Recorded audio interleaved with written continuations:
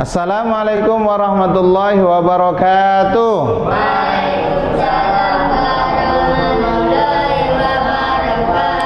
Gimana anak-anak sehat hari ini? Baik, yang akan kita bahas untuk hari ini kita akan membahas tentang masalah iman kepada Allah Subhanahu wa taala. Iman adalah percaya atau membenarkan. Oke. Itu secara bahasa, akan tetapi secara istilah yang dimaksud dengan iman itu adalah Kepercayaan yang diyakini kebenarannya dalam hati diikrarkan dengan atau secara lisan dan direalisasikan dengan perbuatan. Abu Jahal, Abu Lahab, dan abu-abu yang lain itu mereka yakin kalau Allah itu ada Yakin kalau yang menciptakan dunia itu adalah Allah. Yakin yang menciptakan langit itu juga Allah. Tapi karena mereka Abu Lahab, Abu Jahal itu tidak mau berikrar dengan mengucapkan asyhadu alla ilaha illallah wa asyhadu anna muhammadar rasulullah, maka di, mereka tidak dianggap beriman kepada Allah Subhanahu wa taala. Ya. Jadi Iman itu ada tiga unsur. Yang pertama tadi keyakinan di dalam hati, diikrarkan secara lisan. Apakah itu sudah cukup? Belum. Karena harus ada yang ketiga, ada realisasi dalam perbuatan. Dibuktikan dengan perbuatan. Hatinya iman kepada Allah, percaya kepada Allah, sudah mengucapkan ikrar bahwa dia percaya kepada Allah bersyahadat. Tapi kok perbuatannya tidak menunjukkan keimanan maka imannya dianggap tidak sempurna. Ingin tanya sekarang percaya nggak kalau Allah itu ada? Ini penting ini mendasar buat kalian loh ya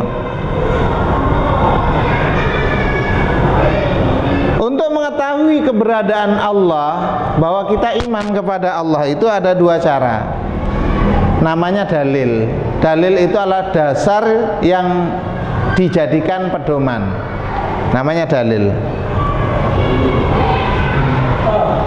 Kita lanjut ya. Dah.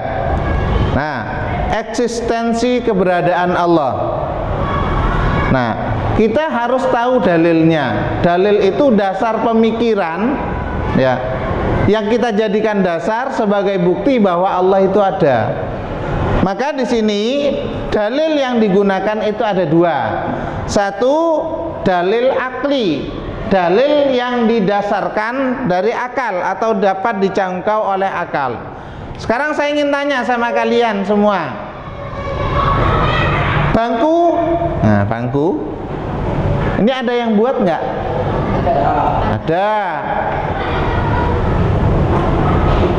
Laptop ada yang buat nggak? Ada. Siapa yang buat? Manusia. Manusia. Oke. Tas? Ada. Sekarang saya tanya, dunia dan seisinya serta langit itu ada yang buat nggak? Ada kan? Mesti ada. Jadi adanya sesuatu yang ada di dunia ini pasti ada yang membuat. Ya. Kalau bangku yang membuat itu adalah manusia, laptop, HP dan lain sebagainya itu manusia, maka siapa yang membuat bumi, langit dan seisinya? Nah, itulah Allah. Nah, kalau kita mau berpikir, saya kembali tanya ya, HP ini yang buat tadi siapa? Manusia. Kira-kira apakah sama HP ini dengan manusia? Tidak kan? Artinya tidak akan pernah ada ciptaan dengan yang menciptakan itu sama. Gunung, siapa yang menciptakan gunung? Allah. Allah. Kalau Allah disamakan dengan gunung, marah nggak Allah? Marah. Makanya Allah itu paling benci kalau disekutukan. Karena Allah yang menciptakan gunung, maka Allah tidak akan pernah sama dengan gunung itu. Apalagi kalau disamakan dengan yang namanya apa namanya arca atau patung. Lo patung yang bikin manusia. Ya kan lucu? Dibikin oleh manusia disembah oleh manusia. Kan lucu? Makanya Allah itu tidak akan pernah bisa digambarkan dengan apa-apa. Ini secara akal ya. Makanya ini disebut dengan dalil akli. Dapat dicangkau dengan akal artinya apa segala sesuatu itu pasti ada yang membuat dunia dan seisinya ini ada yang membuat siapa Allah oke yang kedua adalah dalil nakli. Dalil nakli itu adalah dalil atau dasar yang diambil dari Al-Quran maupun Al-Hadis. Kita coba lihat.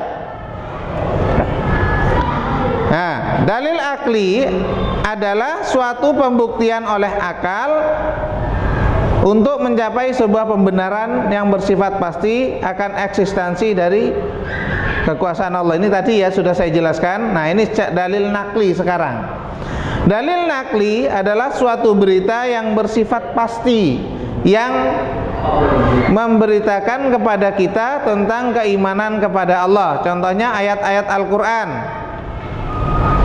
Quran surat 2 ayat 177 tentang hadis Jibril tentang rukun iman. Dah. Saya kira itu ya. Kalau ada yang tanyakan monggo, masih ada waktu jangan disimpan dalam hati karena malah engko dadi udunan ya malu bertanya sesat di jalan. jalan kalau saya sekarang rubah malu bertanya sesat di kamar karo kuncine nanti kadem tako udah ya oke kalau sudah paham semua saya kira cukup untuk pelajaran hari ini kita lanjutkan untuk pembahasan selanjutnya di minggu yang, yang akan datang. Silakan kalau masih ada lagi yang ditanyakan monggo. Gak usah takut, gak usah izin. Ya, ya sudah paham ya. Saya kira saya akhiri sekian dulu. Kita berdoa kepada Allah. Mudah-mudahan apa yang kita dapat pada hari ini bermanfaat buat diri kita, bermanfaat buat keluarga kita, dan juga bermanfaat buat agama dan bangsa kita. Amin Allahumma amin. Dari saya kurang lebihnya mohon maaf. Assalamualaikum warahmatullahi wabarakatuh.